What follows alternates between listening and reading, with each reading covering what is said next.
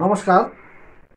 आज फेरि म तपाईँहरू समक्ष यसरी यो एउटा सानो भिडियो लिएर आइरहेको छु। र विशेष भिडियो लिएर आउनुको कारण चाहिँ के हो भन्दाखेरि खरसाङका जिएनएलएफका नेता भूपेन गुरुङज्यूले मलाई धेरैवटा प्रश्न राख्नु भएको रहेछ। र यो प्रश्नको उत्तर दिनै पर्छ भनेर मलाई मेरा शुभचिन्तक एवं अनुसूचित जातिका धेरै महानुभावहरूले भन्नुभएकोले म यो भूपेनज्यूलाई उहाँको प्रश्नको उत्तरहरू दिन गइरहेको छु। र उनको प्रथम प्रश्न के थियो भन्दाखेरि अनुसूचित जातिले जिटिएमा चाहिँ आरक्षण किन नमागेको भनेर उहाँले प्रश्न राख्नु भएको थियो। र यसको उत्तरमा भन्नुपर्दा जिटिए सही छाप भएको समय म अनुसूचित जातिको नेतृत्वको स्थानमा थिइनँ। त्यस समय हाम्रा अनुसूचित जातिका नेतृत्वहरू बुजुर्ग व्यक्तित्वहरू हुनुहुन्थ्यो। हाम्रा नेतृत्व वर्गले जिटिएमा आरक्षण हुनुपर्छ भनेर विभिन्न स्तरमा पत्रचार धरना जुलुस एवं विभिन्न कार्यक्रमहरू जस्तै सङ्गोष्ठीहरू गरेका थिए।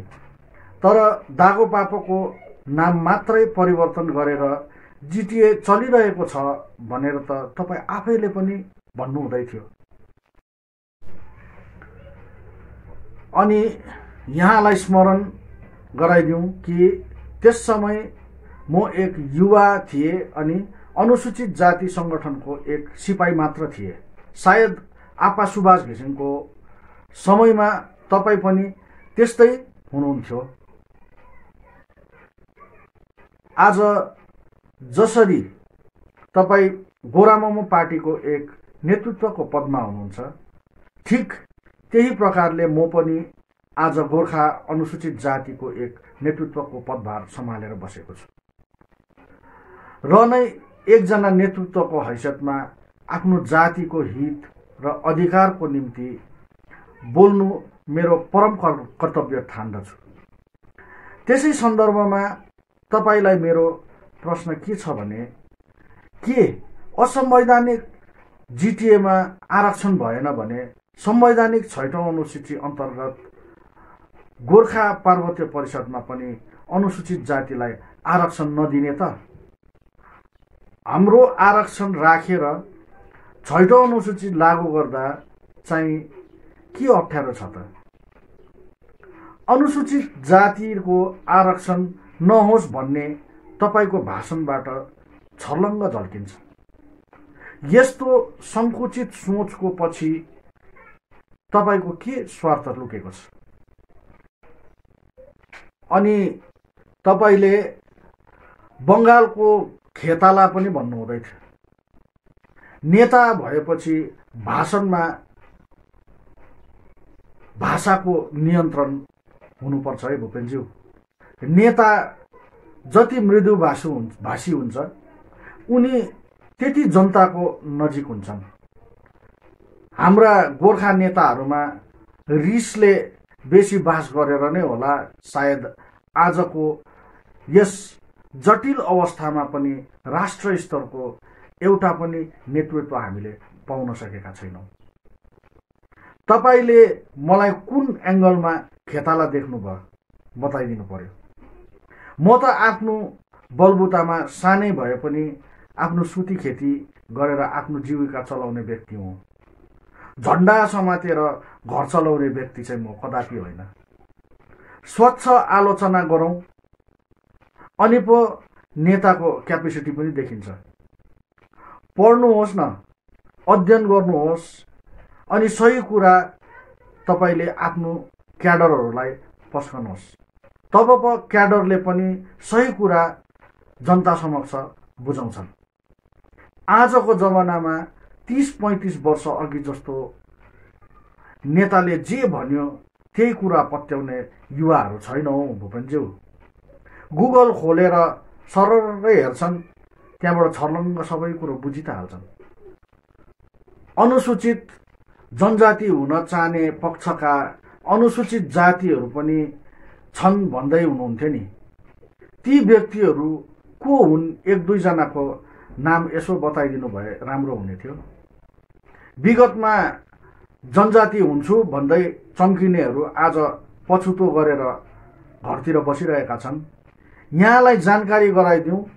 गोरामोमो अध्यक्ष स्वर्गीय सुभाष घिसिङज्यूले दुई हजार पाँचमा छैटौँ अनुसूचीको समय अनुसूचित जातिका बुद्धिजीवी भनाउँदा केही रिटायर्ड आइएएस अनि डब्लुबिसिएस अफिसरहरूलाई लिएर कादा ससङ खोलेका थिए अनि उनीहरूले national commission for schedule try schedule caste अनि नेसनल कमिसन फर सेड्युल ट्राइबलाई धेरैवटा पत्रचार गरेका थिए।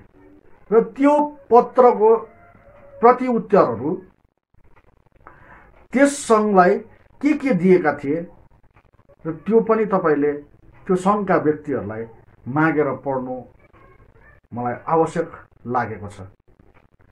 त्यस कादास सङ्घका सभापति सचिव त बितेर गए तर पनि कतिपय सदस्यहरू आज पनि जीवित छन्। उनीहरूलाई माग्दा हुन्छ तपाईँले। उनीहरू एससी एसटी कमिसनले कमिसनमा गएर के के भनेका थिए अनि एससी एसटी कमिसनले उनीहरूलाई के के उत्तर दिएका थिए त्यो तपाईँले वृत्तान्त उहाँहरूबाट मागेर सु मागेर पढ्न प सक्नुहुन्छ। साथै उहाँहरूलाई सोधेर वृत्तान्त बुझ्न पनि सक्नुहुन्छ। अनुसूचित जाति जनजाति हुनको निम्ति पहिला नेसनल कमिसन फर सेड्युल कास्टलाई एससीबाट निस्किने दरखास्त गर्नुपर्छ अनि निस्किसकेपछि एसटी हुनको निम्ति फेरि नेसनल कमिसन फर सेड्युल ट्राइबलाई दरखास्त गर्नुपर्ने हुन्छ। त्यस बेला जनजातिको निम्ति क्राइटेरिया नपुगे। जनजाति पनि हुन सक्दैनन् र पाउँदै गरेको अनुसूचित जातिबाट पनि ऊ विमुख हुन जान्छन्। र भन्नुको मतलब उताबाट एसटी पनि पाएन र यताबाट एससीको दर्जा पनि गुमाइयो भने हामी त घरको न घाटको हुने भयो नि। त्यस्ता नेसनल कमिसन फर सेड्युल कास्टका चेयरम्यान श्रीमान सुरज भान सिंहज्यूले यो कुरा कादासा सङ्घका सभापति सचिव अनि गोर्खा अम्बेदकर कमान सिंह रामुदामु अनि अनुसूचित जाति सङ्घका तत्कालीन महासचिव श्री एनबी कालीकोटेज्यूलाई प्रष्ट भन्नुभएको थियो। भूपेनज्यूले उनको अध्यक्षसित बसेर कुरा गर्ने सल्लाह पनि दिँदै हुनुहुन्थ्यो।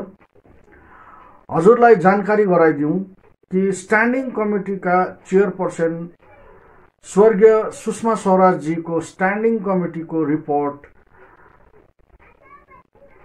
रिपोर्ट जुन चाहिँ उहाँले रिकमेन्ड गर्नुभएको थियो त्यो रिपोर्टको प्रतिलिपि साथै एउटा ज्ञापन पत्र पनि श्री विश्वकर्म समाजको पाँच सदस्य टोलीले गोरामोमो अध्यक्ष श्रीमान मन घिसिङज्यूलाई उन्तिस अगस्त दुई हजार एक्काइसको दिन दार्जिलिङको युथ हस्टेल स्थित गोरामोमो कार्यालयमा भेटेर विस्तृत रूपमा बुझाएका हौँ।